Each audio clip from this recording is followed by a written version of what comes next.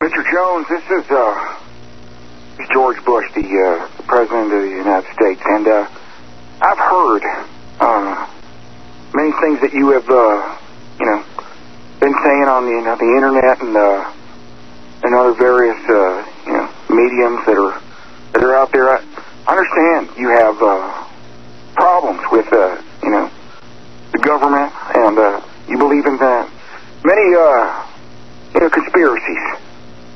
I believe that uh, we can work this out. If you will, uh, if you will, uh, take my phone call. We can, uh, we can speak about this stuff. We will, uh, we will work this out.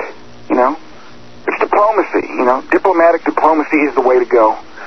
And uh, if the uh, if the two of us can uh, can work this out, and I mean, and I think we can, we will uh, we'll definitely have it have it worked out then.